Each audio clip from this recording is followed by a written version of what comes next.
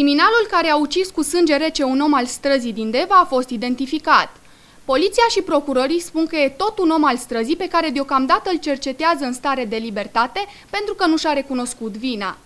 Suspectul în cazul crimei de la Deva e un om al străzii de 59 de ani. El ar fi ucis pe colegul său de 73 de ani cu mai multe lovituri pe care i le-a aplicat în cap și pe corp. Totuși, până acum presupusul criminal nu și-a recunoscut fapta. Polițiștii spun că în urma investigațiilor efectuate, el a fost identificat ca principal suspect și pentru că nu și-a recunoscut fapta, îl cercetează în stare de libertate.